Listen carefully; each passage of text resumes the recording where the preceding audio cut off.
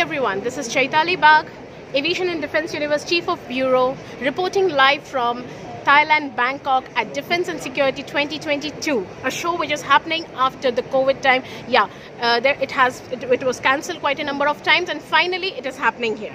And we are glad and honored to have with us Mr. Bodhisattwa Mukherjee. He is additional director to Indian Chamber of Commerce, and we are fortunate that he is giving his uh, expensive time to us. Thank you so much, sir, for joining us on the chat room of AD. My So- pleasure. So, so we begin today with the question about ICC, the role of ICC in this Defense and Security 2022 Expo. Good morning. Uh, let me just uh, start with a little bit of a background about ICC. Uh, the Indian Chamber of Commerce, or as ICC as it is well known, we are a national body, a very, very old Chamber of Commerce, and with a unique feature that we are the only national chamber in the country today which is not headquartered out of Delhi. We are headquartered in Kolkata with about 10 branches all across the country and we are present in all the important cities but our major focus of activity has always been the indo-pacific region owing to our headquarters base being in the eastern part of the country and uh, being established in 1925 by the Birla Group, Mr. G.D. Birla used to be our founder. Uh, we have worked over a period of time with almost all the ministries uh, at Delhi, and uh, we also work very closely with state governments and corporates all across the country. Now, the way we work with the other ministries, I think we work very closely with the Ministry of Commerce and Industry, Ministry of Defense, Ministry of External Affairs, and so on and so forth. Now, what has happened is, uh, though this is a defense uh, program, of course, Ministry of Defense has supported and has helped ICC in garnering the India Pavilion, in getting uh, participation from Indian companies. But this is a program which is actually in association with the Ministry of Commerce and Industry, Government of India. They have a scheme called the Market Access Initiative Scheme, and it is under that scheme that uh, ICC has been given the privilege to garner participation for defense companies all across the country to explore business opportunities in various countries. And these kind of shows where you have uh, various countries, though it is taking care in taking place in Bangkok, but I think uh, this has a participation from most of the Southeast Asian countries, including China, Korea, and also some of the West Asian countries like Oman and Saudi and all that. Now, this is a this is a wonderful meeting place for professionals in this industry and discuss about opportunities. So, ICC wants to kind of uh, participate and give the Indian companies that requisite platform. Great, so that was a very compact, nice piece of history about ICC and exactly what ICC has been doing for the Indian companies and the MSMEs. So, so was there? Uh, I can see all the companies that are here, uh, the Indian companies. They are under your umbrella, the ICC's umbrella. So, was there a specific criteria of, of selecting these uh, companies to come here and participate in the expo? Yeah, of course. I mean, uh, what has happened is that uh, every country or every area has certain uh, unique features. You know, some some of the shows you will find that the focus is more on naval. Some are focused on air force. Some have a focus like Tri Series is this particular show is a generic show which has focus on all the different uh, areas of defense. Now, what we wanted to have here is some big names from the Indian defense industry, some medium and small companies, and some even startups. So, what we have done, the way we have companies like L&T and DCM Shriram and Brahmos of the world, which are known names uh, all across, we also have some technology-oriented companies like Zen Technologies, uh, Hind High Vacuum System. So, and also we have some startup companies like Kusumgar is one, like Run Flat Tires is one. They're smaller companies, but they need that exposure, that uh, kind of, uh, I would say, platform where they could network. So the conscious effort from a chamber point of view was not only to pamper the big boys, but also to create that platform because space is limited given the kind of budgets that we get from the ministry. Mm-hmm. So we want to equally distribute it among the big players, the medium players, and even the smaller ones who need this kind of platform. Since you told me about the, the merging that you are doing with the big companies, the middle ones, and the startups, MSMEs, now my next question comes to the big companies are already established. They are being right. known internationally. They have their partners internationally. Everything. Right.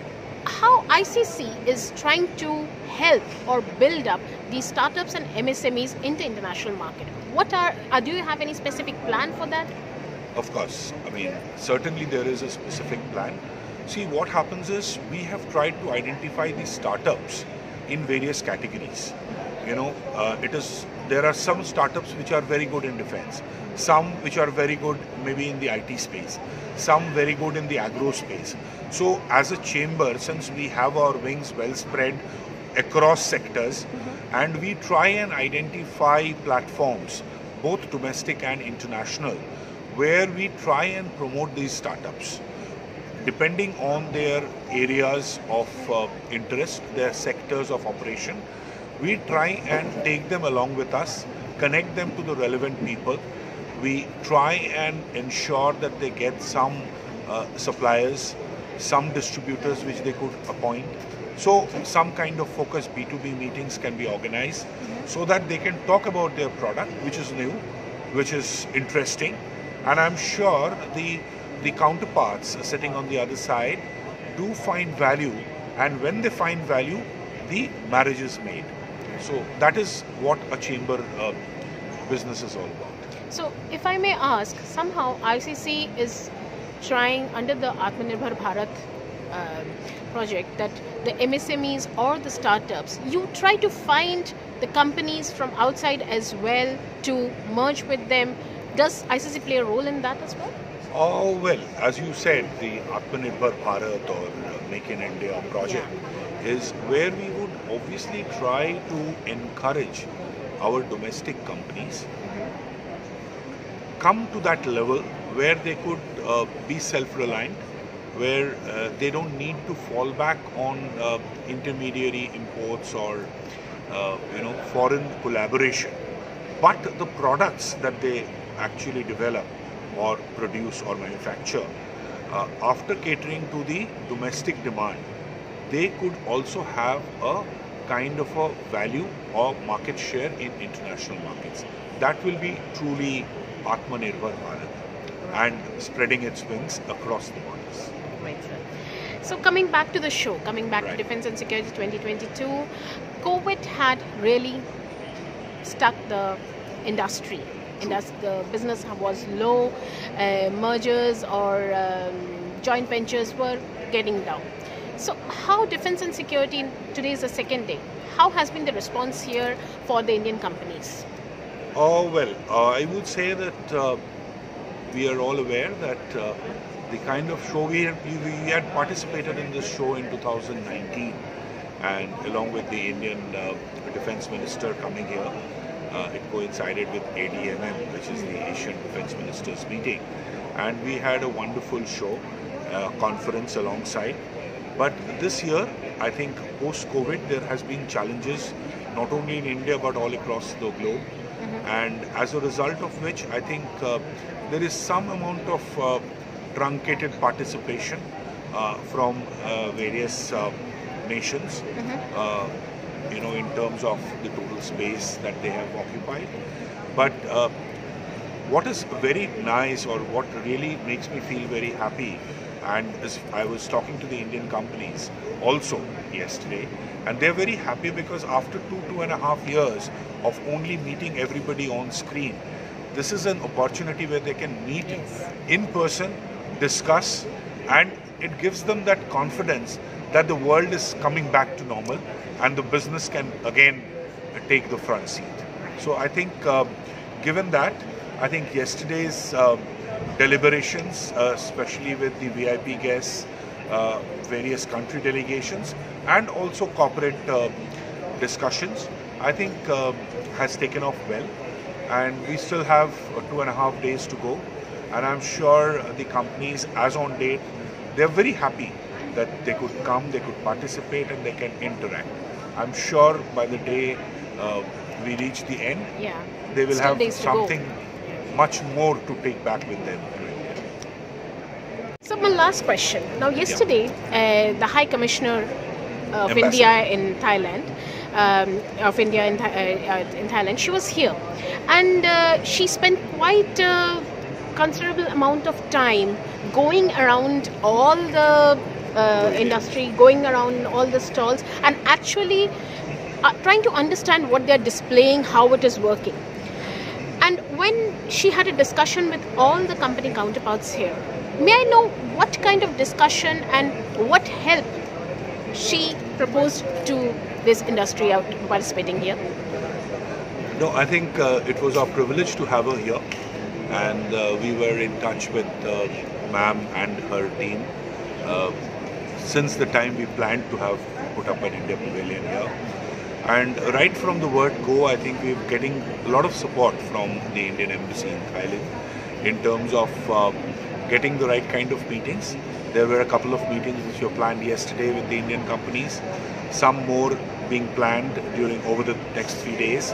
Uh, what we discussed primarily with uh, the Indian ambassador uh, yesterday, especially the companies, I think uh, defense is one sector where uh, you know some amount of government intervention is required in order to strike big deals, uh, in order to connect with the right kind of people in the uh, government in Thailand. You know, and I think what BAM really took note of is uh, the kind of products, the kind of technology, uh, the kind of equipments that uh, India has is capable of, and I think uh, the standards are at par with the rest of the world, which was very very encouraging for uh, the Indian ambassador.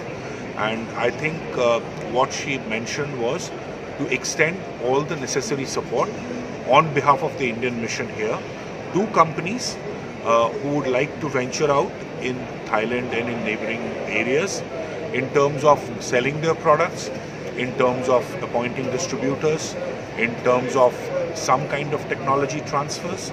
So, all the various areas, I think uh, she has promised to uh, give that helping hand, which is very, very much important and a big boost for the Indian companies exploring foreign, foreign soil. So overall, I should say it was a very fruitful experience for you as well as the industry participating, the Indian industry Absolutely, participating. absolutely, absolutely. That's great, sir. Thank Right. you so much for your time today. No, and we had a you. very good interaction with you, getting you. to know, and the world will know how the Indian industry is now, not now, it's been for quite a considerable number of time, uh, um, um, amount of time that we are trying to venture out internationally, participate everywhere. Right. And it has been a good experience for all of us. Right. Thank you so And much. for ICC will also be there at Def Expo. It's not only the international exhibitions. We will be very much a part of Def Expo. We would we are urging all the international uh, participants to come over to our country and also experience what we have to offer. Definitely, I'm sure they will be glad. They definitely will be coming. India is a very good market, and Atithi Devo Bhava for us. Thank you. Thank you so much. Thank sir. you. Thanks for your time. Take care.